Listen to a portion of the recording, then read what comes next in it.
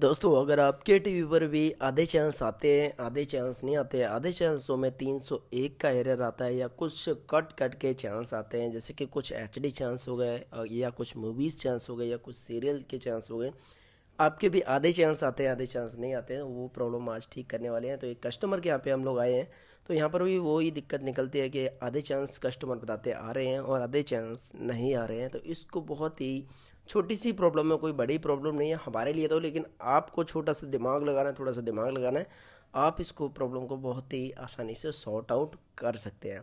तो जैसे कि ये सेट बॉक्स देख रहे हैं डिश टीवी का N X T H D set box है। मॉडल आपके यहाँ पे कोई भी लगाओ, उससे कोई फ़र्क नहीं पड़ता है। अब हम आ चुके हैं जैसे कि छत पे, और यहाँ पर आपको देखने में ही, अगर आपको नॉलेज होगी तो देखने में ही बता देंगे, इसमें दिक्कत क्या है। बाकी डिस्क पूरी मजबूती से लगा हुआ है डिस्क में कोई दिक्कत नहीं है। ना ही कहीं से केबल कटी हुई है और पूरी सिंगल फ्रेश केबल है। और इसमें जो दिक्कत दिख रही है, आपको यहाँ फ्रंट के साइड से दिख जाएगी। देखिए आपको, अगर नहीं दिखी तो मैं आपको बताता हूँ। इस डिश में जो दिक्कत है एलएनवी की दिक्कत है। एलएनवी एकदम सीधा कर दिया है किसी ने भी। कोई ज़्यादा ऊपर ऊँची जगह नहीं लगाया डिश, लेकिन फोर्थ फ्लोर पे लगा हुआ है यहाँ पे डिश।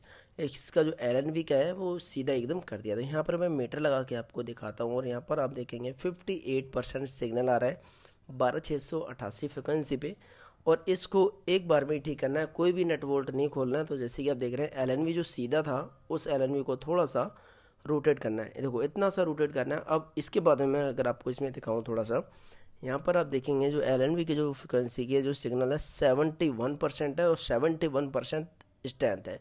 स्ट्रेंथ तो एक बार को पूरी आती है, लेकिन जो नीचे वाला जो सिग्नल है ग्रीन वाला, वो कम हो जाता है।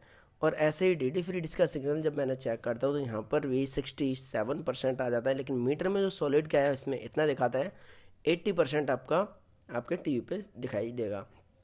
यहाँ पर एक बारी मैं और दिखा देता हूँ आपको। जैसे कि इसमें देखो, जो एलएनवी का जो स्क्यू मैंने जो ठीक किया है, इसको एल एन बोलते हैं। ये एकदम जैसे सीधा था।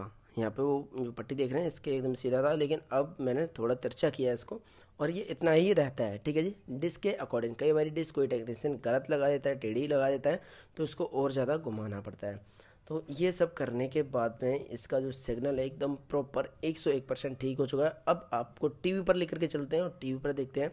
चांस चलते नहीं चलते हैं। तो जैसे कि आप देख रहे हैं, सारे के सारे चांस ऑलरेडी कस्टमर पहले ही चेक कर चुके थे और यहाँ पर वो कहते हैं जी सारे चांस चल गए जब मैंने उनसे किया था कि आपके जो चांस नहीं आ रहे थे, वो चेक किया आपने तो कस्टमर कहता है, जी ऑलमोस्ट सारे चांस चल गए हैं। तो एक सौ एक परसेंट इनके चांस चल गए हैं और ये छोटी सी दिक्कत के कस्टमर को दो सौ रुपये पे करने पड़े थे। तो आपको भी अगर ऐसे ना पे करना पड़े तो आप भी ऐसे ही काम कर सकते हैं। बाकी इसके सिग्नल चेक करें तो ग्रीन और रेड बटन आपने रिमोट से दबाना है, टीवी के सामने ग्रीन और रेड तो आपके सामने इन्फो सीट खुल जाएगी। अब आपको येलो बटन दबा देना है। येलो बटन दबाने के बाद में हमारे सामने एक ट्रांसफॉर्मर लिस्ट आती है खुल के। ये चीज़ जब चेक करते हैं, अगर हमारा पूरा सिग्नल ओके आ रहा है, ओके सिग्नल पे यहाँ पर सारे ट्रांसपोर्टर ग्रीन होने चाहिए।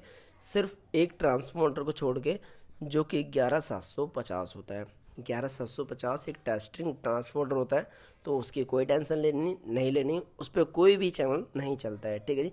बाकी सभी ट्रांसपोर्टरों पे चैनल होते हैं और सभी ट्रांसपोर्टरों में बहुत ही अच्छे सिग्नल आ रहे हैं और ये कस्टमर को दिक्कत थी, काफ़ी ज़्यादा दिनों से दिक्कत थी, दो चार दिन से, चार पाँच दिन से दिक्कत थी और आधे चैनल जो वो देखते थे फेवरेट चैनल वो चैनल नहीं आ रहे थे। तो वैसे ये वीडियो आपको कैसे लगी कमेंट सेक्शन में ज़रूर बताना। वीडियो अच्छा लगा हो प्लीज़ वीडियो को लाइक करना चैनल पे पहली बार आए प्लीज़ चैनल को सब्सक्राइब ज़रूर करना।